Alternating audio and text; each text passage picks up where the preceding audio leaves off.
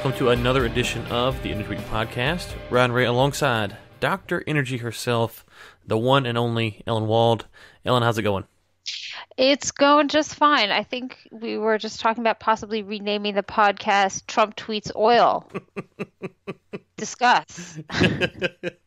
we would have to do it more than once a week. That would be the problem.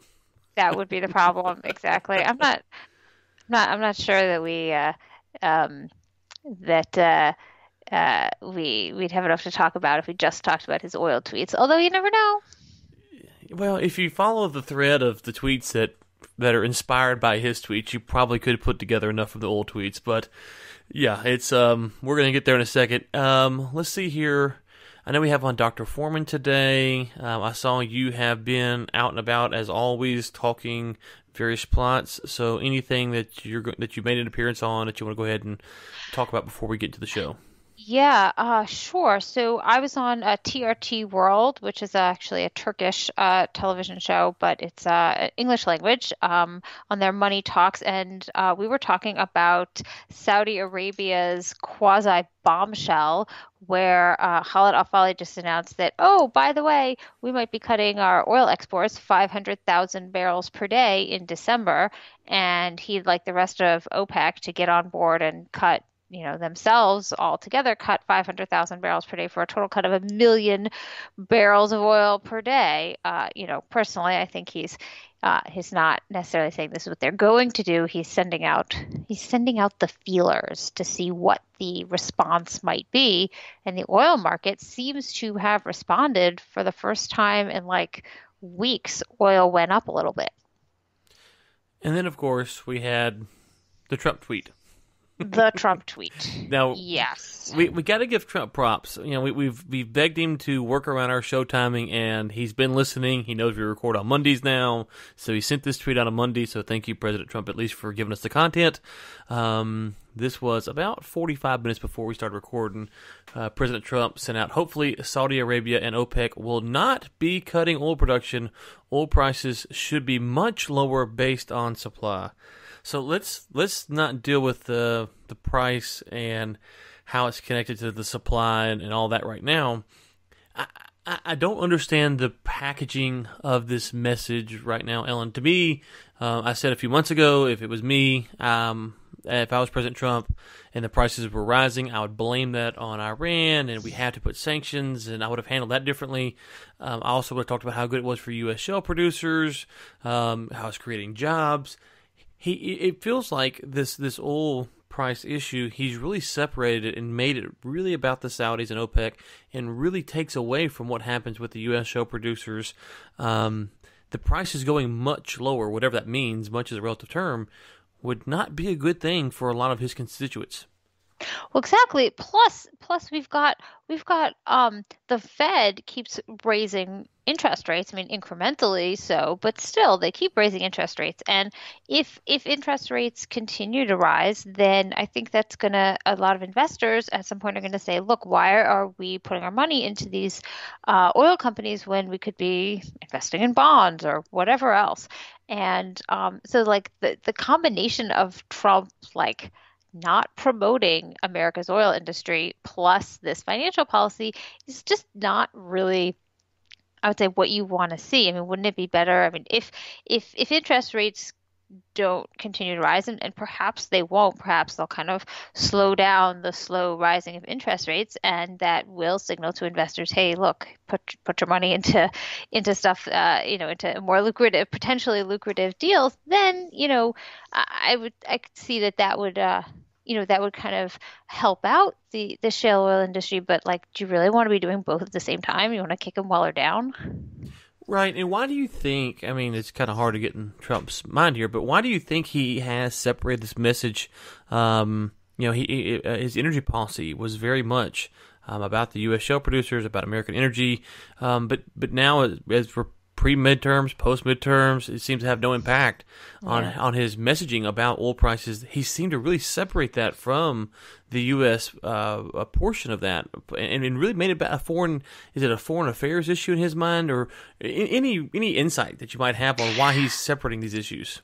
Well, I think that OPEC is always like a good enemy. You know, OPEC is like the perfect villain in any situation because you can decry them for being a monopoly, even if they technically probably aren't really a monopoly, but you can, you know, slap that label on them and say they're anti uh, whatever and they're they're a monopoly and so you can hate them for that.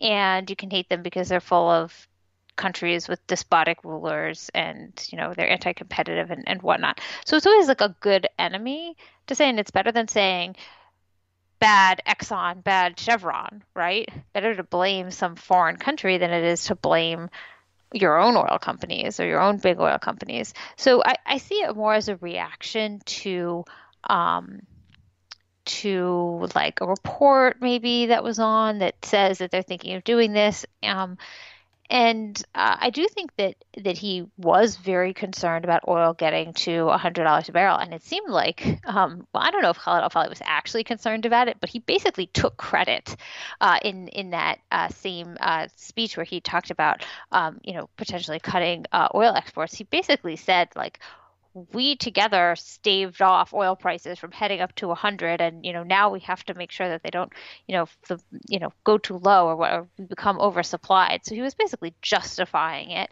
and taking credit for it. So um, you know i don't think that he that they took did it alone. I think american production was also very very important to that uh, you know to that whole thing. But um, I, I mean I think that's a kind of tweet that like is always he sees in his mind a safe bet, like big bad Saudis. He has like a like a like a rolodex of safe tweets to send yeah. out. he's like, um, I haven't sent this one out in a week yeah. or two. Let's go ahead. Haven't bashed, haven't, haven't bashed OPEC recently. that that wouldn't surprise me. Okay, so we are what is it about forty five days, roughly forty eight days, something like that, to the end of the year and we, we read a lot of reports about oil will hit $100 a barrel. If this, then that, you know, uh, possibly that. Will we, the question is, will we actually see any more of those articles come out between now and the end of the year talking about oil could hit $100 a barrel in 2018? I'm going to go on the safe side and say absolutely yes. We will definitely see at least one article saying oil could hit $100 a barrel by the end of 2018 if aliens come and destroy all of our oil supplies or now, I, I think we definitely now that opec is now that the you know they're trying out this potential cut now that they're discussing it i think that you could definitely see um, talk about that. Besides, like nothing makes an OPEC meeting exciting more than the thought that they could cut so much that we could end up at hundred dollars a barrel. Right. So, yeah. I, I don't think we'll end up there. Right. But we'll definitely see articles talking about it. Okay, so uh, we're going to talk about the OPEC articles uh, in just a second. We have, but but you um, theorized a few weeks ago that you felt like there was a little bit of um, um, uh, spare capacity in the price, if you will, that the price was a little bit inflated, that it might come back down to, uh, I think you said like five dollars. Um, we've seen kind of a drop in oil. WTI right now is at sixty, Brent's at seventy. Do you feel like that kind of excess, uh, that inflated price, has kind of come back down to where it should be now? I do think that it has. I'm not um, necessarily of the Donald Trump mind where it should actually be lower. Um, I think that the price right now probably also, you know, maybe it doesn't reflect the total amount of supply and demand on the market, but you've got to take into account the fact that not all oil is created equal, and we have uh, a massive surplus of light oil and a not massive surplus of other kinds of oil. And, um, you know, like Canadian oil is seriously bottlenecked. And so I think that the prices are probably a good, a, a good reflection of where we are now. Uh, and I do think it had to come down. And I don't think that OPEC should really be that worried about it. I think they are worried about oversupply. It does seem to me that a lot of their oversupply concerns are based on the fact that they seem to think that global demand is really going to be an issue in 2019. And I almost wonder if they maybe shouldn't, and OPEC, if you're listening, you might want to consider this. Uh, they maybe shouldn't take the the um, tone of, yeah, we think there might be a global economic slowdown.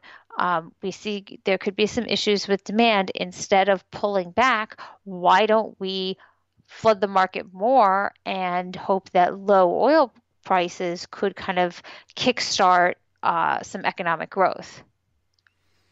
Yeah, that's interesting. Uh, and, and, if they flooded this, this kind of worked it out here.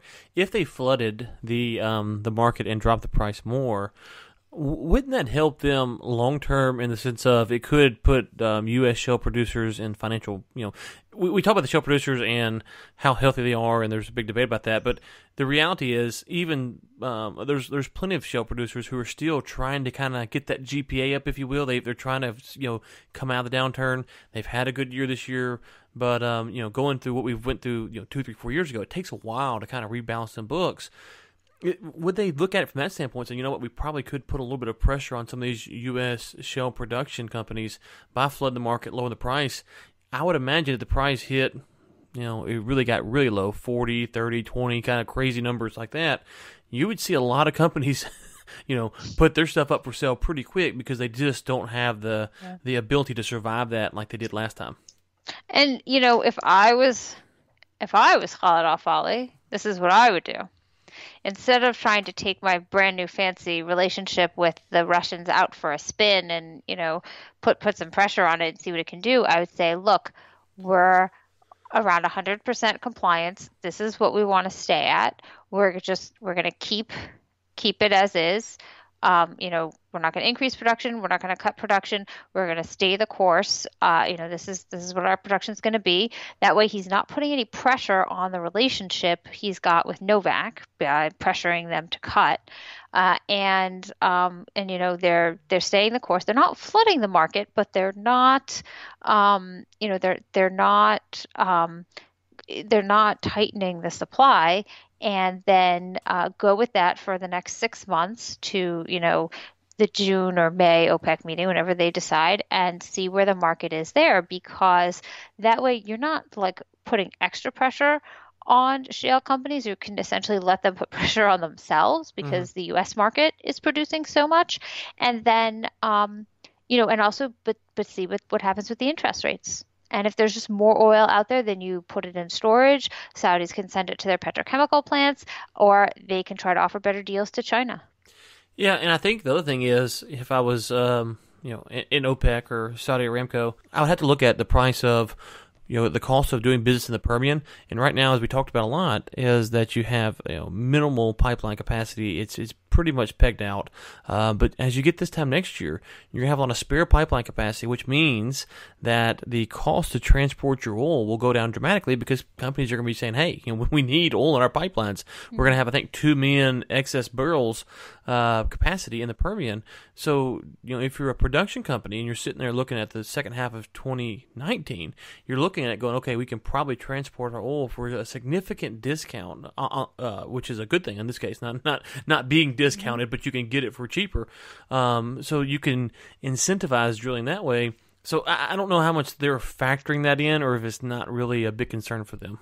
Yeah, I I just wonder if they're keep if they're too focused on these um, global economic forecasts, and uh, you know I do I, I'm not surprised that they're floating this idea and that they're talking about it because they should be discussing it. If they really do want to say that they're the group that manages global oil supply, they've got to be talking about it. But I I would I would say like I just don't think that now is the time when you want to press Russia to actually make cuts. Um, they could do symbolic cuts, like they could say, we're all going to cut 0.1% or 1%, which is basically nothing, but they can, you know, say they had a win or they say could say we you know made all all made a decision together. But i really don't think you want to pressure that saudi russian relationship right now. Uh, it's always easier like they i mean they'll find that it was much easier to agree to increase production like they did back in june than it is to decide to cut production so let's talk about Russia for a second. You, you, sent an article in from Reuters, and Novak says that he believes this is a paraphrase, but essentially that it's more of a seasonal oversupply than than a serious long term oversupply. When you hear that, you go, okay, um, it's not like uh, Novak and the and the Saudis or OPEC, you know. It's not that they can't share information. They can't, you know, show, swap Excel files or anything. Um, what makes it where you know when, when you read these headlines as someone who studies these foreign markets like you do, do are you are you reading these these more as posturing as you were talking about a minute ago with floating out these ideas, or do you think when Novak comes out and says, "Hey, you know this is our data, we really believe it," and then OPEC comes out and says, "This is our data, we really believe it," have they not been able to share data, or are they sharing data and is this they really come to different conclusions, or how do you parse that out? Yeah, one of the things that I always look at when I look at this is, is I say, okay, well, he's speaking to you know reporters and to traders and so on, but Novak is also speaking to his own people, namely Russian oil producers, and so you know not everyone has to. Al Falih doesn't have to do that. Okay, Aramco and he are like you know, buddy buddy. They're they're going to do the same thing. He doesn't have to convince Aramco of anything. Right. Uh, you know, essentially Aramco runs that that oil ministry anyway. But when it comes to a country like um, Iran or a country like um, Russia, they also have a population or what whatnot that they need to talk to. And so I would see that as as he he's saying to his people, his oil producers, well, you know, I'm not all in on this this um, you know cut business. Like we're going to talk about it and we're going to discuss. And he's like, he's saying, I don't think there's going to be serious oversupply, and and he should say something different from OPEC because even if he is buddy buddy with Khalid Al Falih, he's also got to show his independence, and that's always a big thing in Russia. He's got to show that he's got his own opinion and he can stand up for it. And even if in the end he goes along with what they say, he's got to at least for a while stand up for himself and show that he's an independent, strong leader for Russia. So essentially, that's my reading. No, no, no. So uh, that's good. So essentially, it could be that even even if he did somewhat agree or was more sympathetic to the opposing view, um, it's a lot of positioning here and outwardly kind of setting up his own independent view, um, yeah. just for the sake of strong Russian leadership. Right. And that's important for him not just like to keep his position, but also because that's what they want to see. They don't want to see the worst possible thing would it would be for him to look like he's just bowing to OPEC and doing whatever they want. It's got to be you know, OPEC and Russia. It can't just be OPEC and Russia's below that, or can't just be the Saudis tell everyone what to do. So even if in the end they agree to what Al Falih wants or some sort of compromise for that, he's he stood up and he said like I don't see it this way. We have a different view. We're not concerned about this, uh, but you know there's a lot of room to discuss and, and whatnot. Okay, so you mentioned earlier um, the, the, the the cuts, particularly five hundred thousand barrels, um, maybe as means a, a million barrels. Um, OPEC, as you as you can tell better than anyone. You know, they have these meetings they set up, they timetables. Let's just kind of break this down. Let's say that um, the Saudis do drop 500,000 barrels in December, which is just, you know, what 18 19 days away um, and then we do see a million, million barrels out are we back in a situation where that will go to june barring another special meeting or is there a different schedule for 2019 so the way that I believe it's supposed to work, so they're meeting um, at the beginning of December, December fifth, the joint ministerial meeting, which is what what just happened, is going to meet again in Vienna, and then uh, this December sixth is the OPEC meeting. December seventh is the like joint one. Then I believe they have a meeting scheduled in March in Baku hmm. which is in Azerbaijan, for their like grand OPEC plus group. And that could be interesting because it is kind of like midway between the two OPEC meetings. And um, and so there could be some interesting things uh, discussed there. Now, they can always have their, you know, like emergency meetings and whatnot. Sure. But in general, um, you know, they've talked. There are a bunch of things that they've talked about, like um, they want to like develop new metrics, or they may go back to the, you know, each country has its own uh, quotas that they have to adhere to, and um, if that's true, then we may see more, you know, the the meetings be, take on much more significance you know, whereas uh, you know reporting exactly how much each country is or is not producing, um, Saudi Arabia could cut 500,000 barrels a day from its exports and still produce that amount and just send it to storage. I mean, they've been mm-hmm. they have been exporting from stored oil for quite some time now. So yeah, that's an, could, that's an important distinction. So we're, so we're talking about exports, not necessarily production. So they Yeah. could. It, so it, it does take them off the market in a sense, but it's not the same as saying that they're going to, you know, take rigs offline or whatever. yeah, exactly. And so we could see them either just use this period of lower exports to rebuild their store, their you know oil storage, which has you know been somewhat depleted, or they could send it to their petrochemical plants. I mean, there are all sorts of things they could do. It, this is really Al Falih's way. As he was saying, look, we are seeing less demand.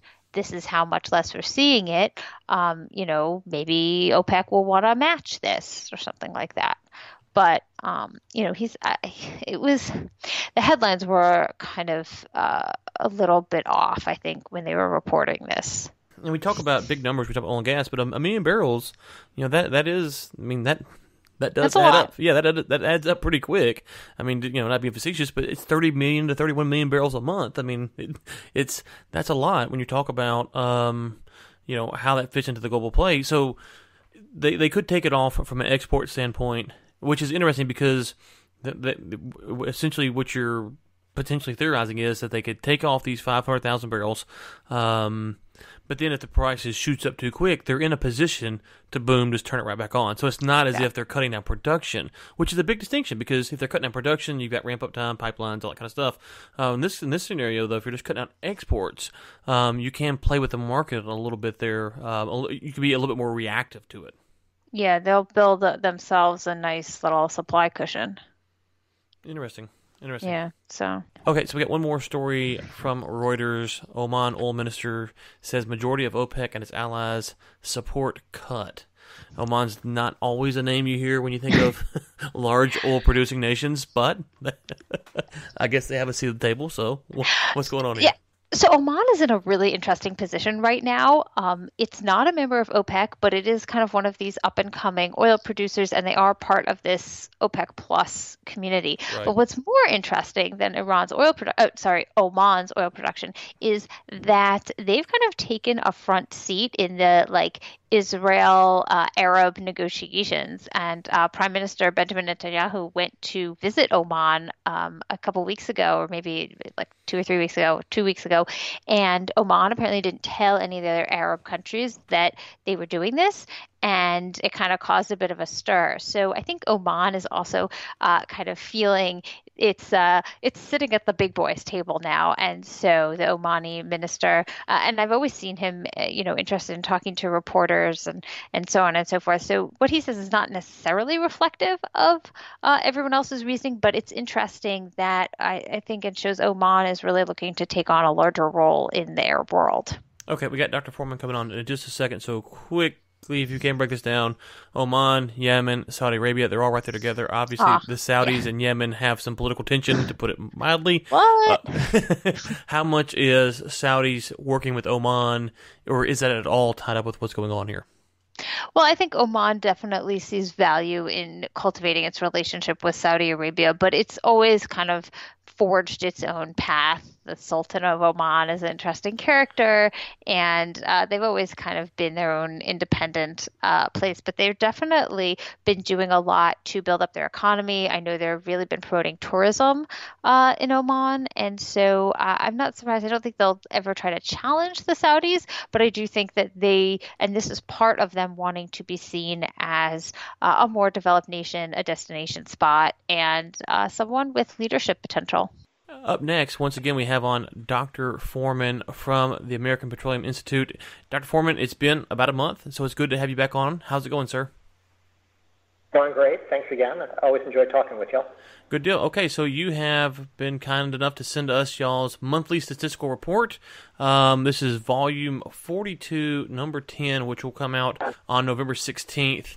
Uh, kind of break down what some of the findings were, some of the highlights for the listeners. Glad to. So, eh, yeah, these reports always have the best monthly information on what's happening in U.S. oil markets. And what we see is we have some good news again, some records for October. For the month of October, it's really the highest U.S. gasoline demand ever at 9.5 million barrels per day.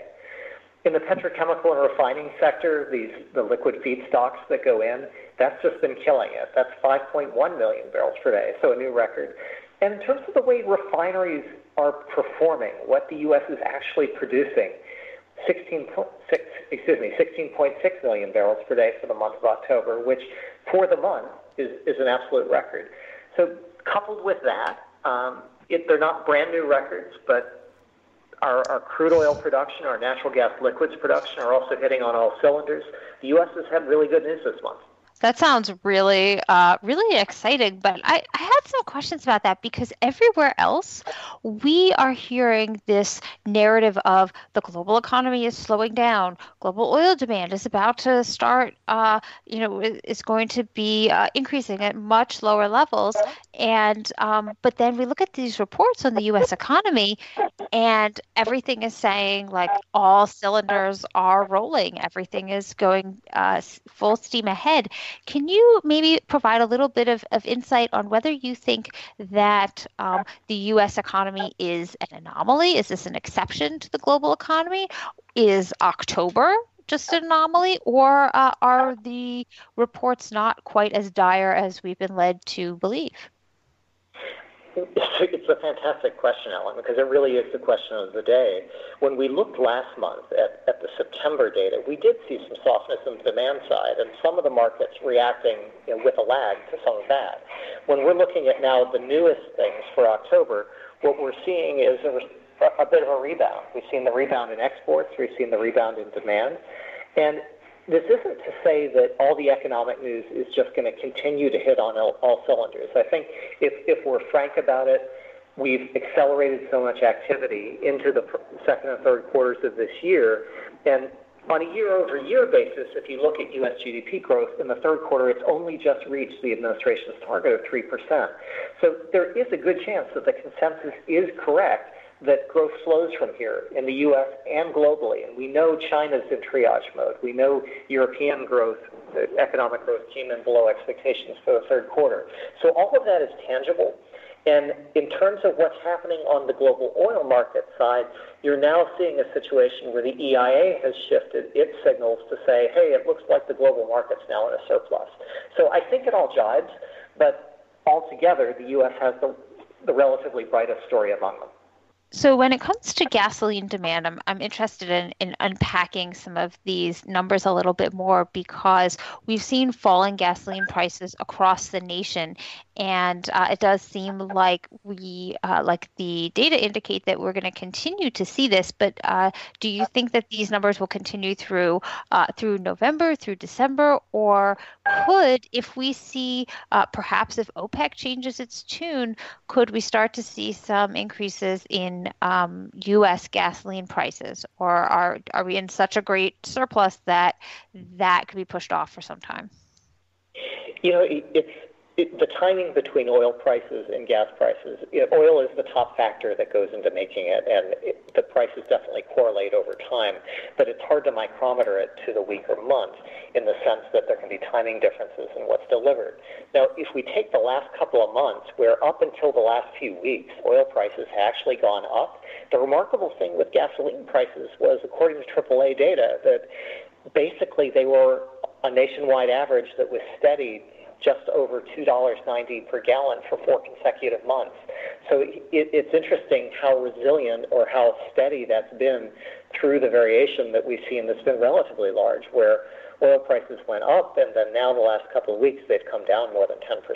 So it, we can't really predict as API where these things go, but because these production numbers are so so strong, regardless of what happens really on the international arena, U.S. consumers continue to be cushioned. We see these domestic oil prices that are still this last month upwards of $10 per barrel below international prices. So these, this cushion or shock absorber for the U.S. consumer has continued to be in place, and that should help support economic activity at a level. Hmm, I hope that uh, the president's listening to our podcast because he seemed rather concerned about the possibility of um, OPEC creating some sort of jump in oil prices, whereas you're saying that, well, you know, even if they do, U.S. has still got got plenty of cushion, and um, you know we don't have to we don't have to get alarmed. uh, at this point. Maybe you could talk a little bit about the jet fuel numbers, which were also really interesting because uh, last time you talked about how uh, jet fuel demand is really a good indicator of of the economy, and maybe you could talk a little bit about what you're seeing in October and perhaps what we could look for in November, which is obviously a big travel month. Sure, glad to. So in October, we saw kerosene jet fuel deliveries of 1.7 million barrels per day. So that's about 3.7% above where it was in August. And it, it, that's, that's still solid demand growth in terms of what we're seeing and the seasonality pattern that's gone with it. Uh, and the indications from um, organizations that follow global travel and the revenue passenger kilometers have basically said, look, it, it's not it's not burning up the trail right now, but it's doing very solidly in the sense that year to year things are still up on a relatively strong basis. Now, you're right. This is probably the, the best coincident indicator of how the economy is abs- absolutely doing. And both on a domestic and a global scale, we're seeing a lot of air travel.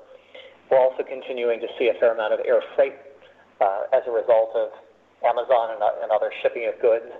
So it's a good sign in terms of consumption, consumer confidence.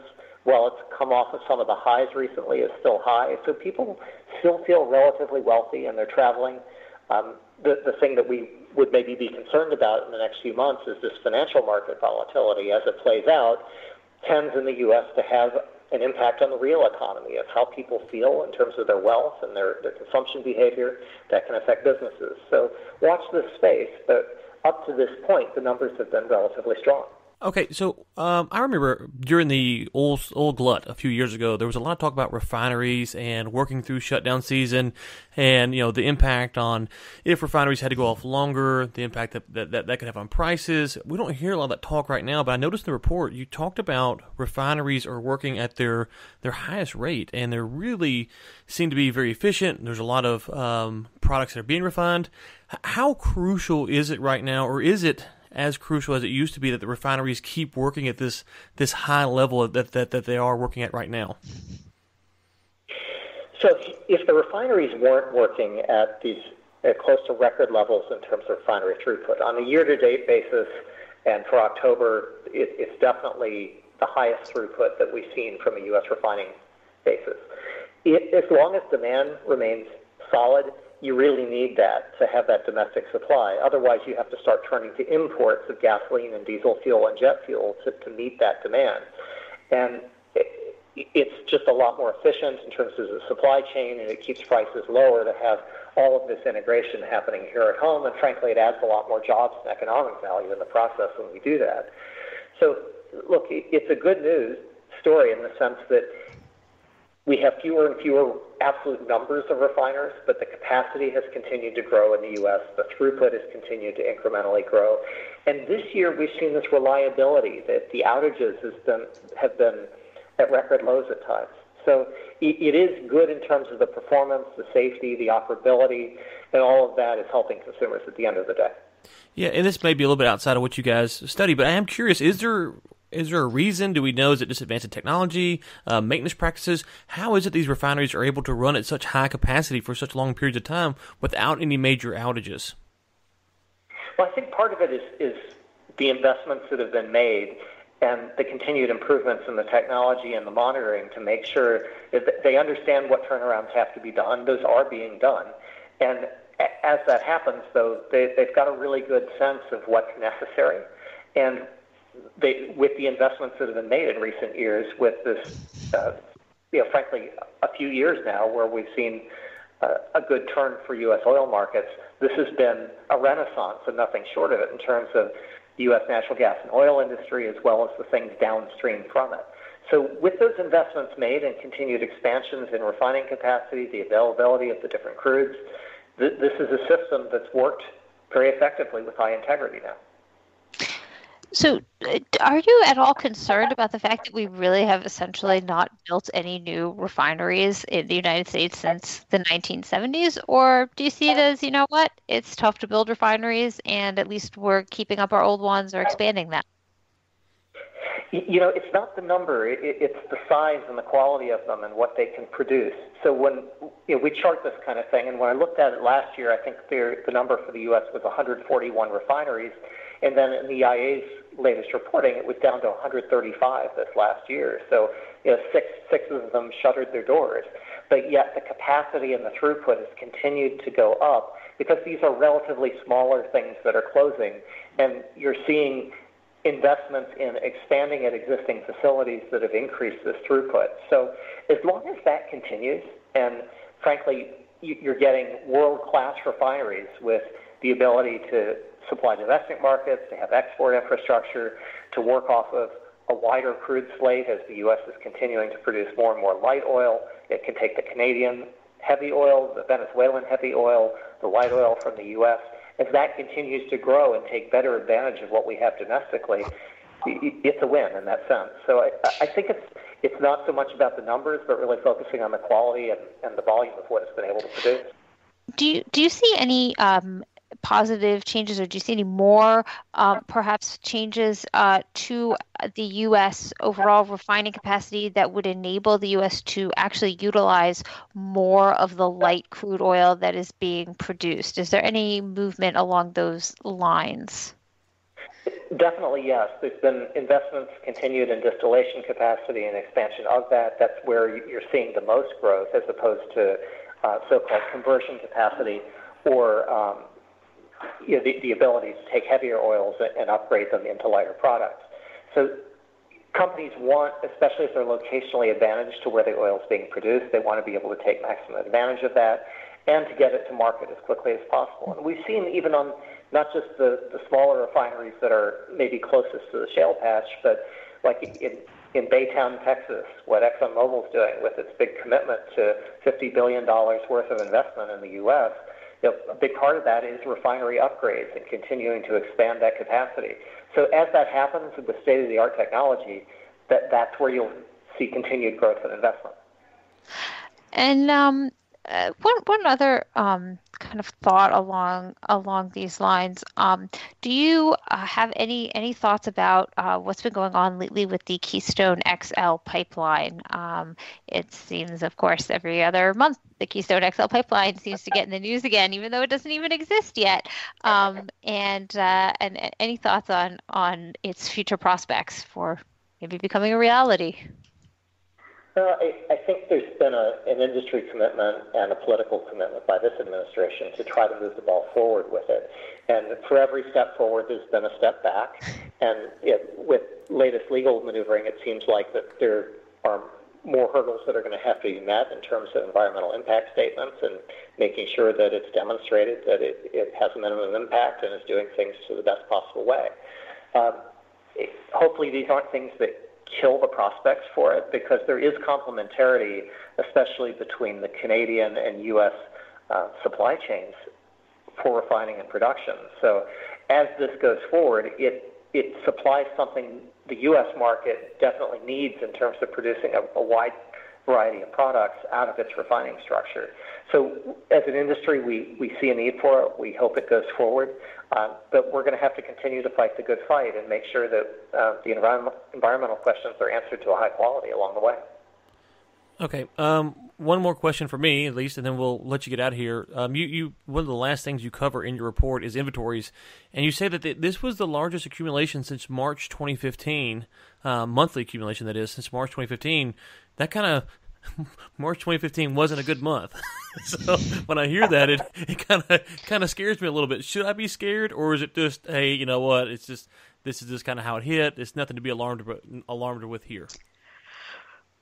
Well, let's keep it in context with we're just looking at crude stocks, not total. So you know, a lot of your stocks are, are refined products as well. Right. But in terms of U.S. crude oil, what this is saying is that as you're looking, think of it this way: you've got really high refining throughput. So the refiners are taking a lot and processing a lot, but yet the production is so strong that you've seen one of the largest increases in you know, basically more than three years of the accumulation of crude stocks. So the first quarter of 2015 in terms of the amount of crude that accumulated I, I hear you from a price standpoint, maybe not the best time, but you did see the stock start to accumulate relatively rapidly, and here we are in that period. Uh, maybe not pretending the same kind of, of economic consequences, but definitely looking at an accumulation of crude in a way that uh, should continue to cushion the market. So when we look at the broader global supply demand balance, how much supply is deemed necessary, and the statements that are coming from various parties about you know, should Saudi produce more or less? Does Russia produce more or less? What does OPEC want to do?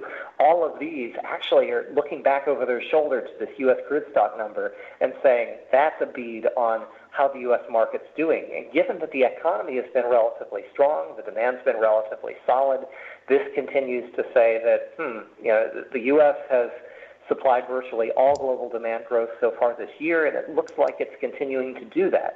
So we've got a really good market share fight on our hands you know, between the U.S. and global players, and it's going to be interesting to see how it plays out in the coming months. Okay, Ellen, unless there's anything else, we're going to let the good Dr. Foreman go. Um, no, I like Go ahead. I like ending on that note. Okay. Okay. API.org is where you can find this report. We were recording on Monday. This report will be out on Thursday, November 16th. You can go to the API's website on the top right hand corner. It has a spot right there where you click on Chief Economist for the API and you can download this report. I'm sure there's a newsletter you can sign up for as well that you can get to us. Dr. Foreman, we love you having you on. Thank you for sending this report. Anything else that people need to be aware of before we let you get out of here today? I think that's all, Ryan Ellen. Thanks so much again for a great conversation, and I, I love doing this. Thank you. Thanks for coming on. Thanks again to Dr. Foreman for coming on the show. We really appreciate it. Now he was on the road traveling, took some time out for us, so thank you for that. Ellen, any takeaways from Dr. Foreman's report? Yeah, I think that the point about uh, U.S. refineries uh, becoming uh, a lot more uh, acceptable or accepting a lot more uh, light crude oil is something that we really need to keep in mind because this is a story we've been talking about, you know, for years, and finally we're seeing U.S. refineries being able to accept more light oil, and that could really change uh, the picture when people talk about oversupply of light crude, and that and and basically the the economic outlook. It's um, I think it paints a really interesting contrast and mm-hmm. between between the U.S. and uh, possibly what's going on in Europe and Asia.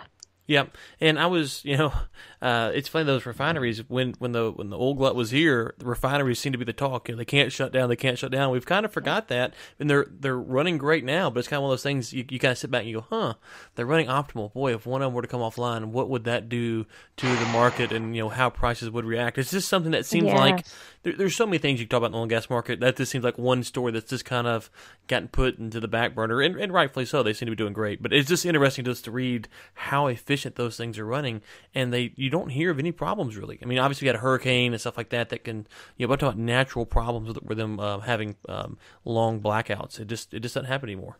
Yeah, I remember, and, and you'd hear like a long blackout, and suddenly you'd see like gas prices shoot up in Chicago, and mm-hmm. you know we really haven't seen that for a while. It's almost like you didn't realize that we hadn't been seeing it until now. Yep. Okay.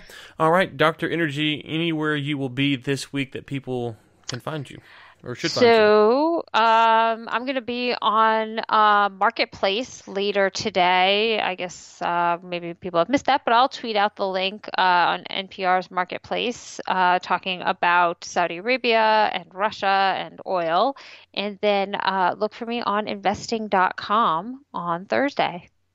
No forbes uh, maybe. maybe. I've I've I, I overdid it a little with the election coverage, so um, I'm I'm letting that uh, you know offshore drilling and e-cigarettes piece sink for a little while. Oh, and we, we need to update the listeners. That did pass, by the way. Oh yeah, oh yeah, that passed. Oh yeah, there's no offshore drilling and no e-cigs in the workplace in Florida. So, by the way, as I discovered, that's not all offshore drilling. That's just offshore drilling on state waters. Oh, okay. It doesn't apply to federal land. Okay.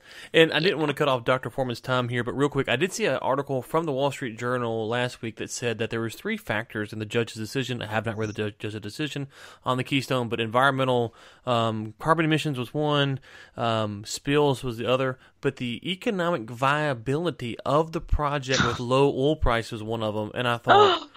It, oh no, no, that was that was according to the Wall Street Journal. I have not sourced that myself. It's just what it said.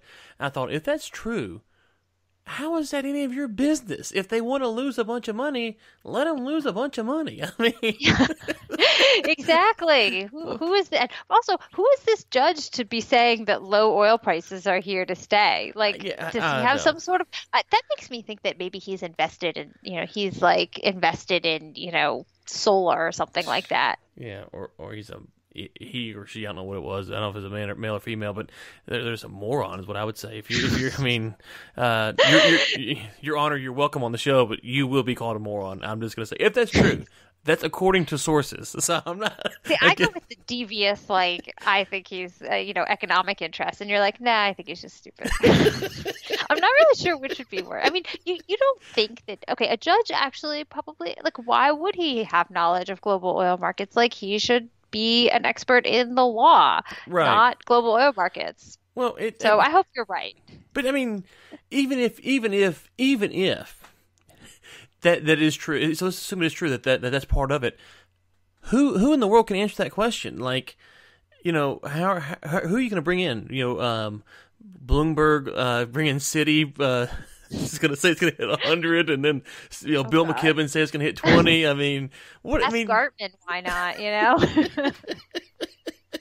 Oh, Dr. Energy and myself would be happy to testify on this, but um, just be prepared, Yeah, Your Honor. It, yes. it won't go well. So, anyways, I, I didn't want to cut off Dr. Foreman's time, but there was an article from the Wall Street Journal, I think it's the Wall Street Journal, last week that said that. I, I just shook my head. The economic viability of the project with oil, low oil prices. Like, ha, give me a break. Give me a break. So, anyways, all right, Dr. Energy you know, I'll let you go with this. Um, we were hoping for a good Celtics seasons, but it's starting off rough for us. So we, we No, they gotta go to the basket. They've got to stop letting themselves go down by like 30 points before halftime because even when you come back, like, why? All right, enough Celtics. I'm not gonna coach from from podcast. I'm not an expert in basketball, but I do think you have to score more points than the other team. I think that is a Yes. prerequisite to winning. So I agree.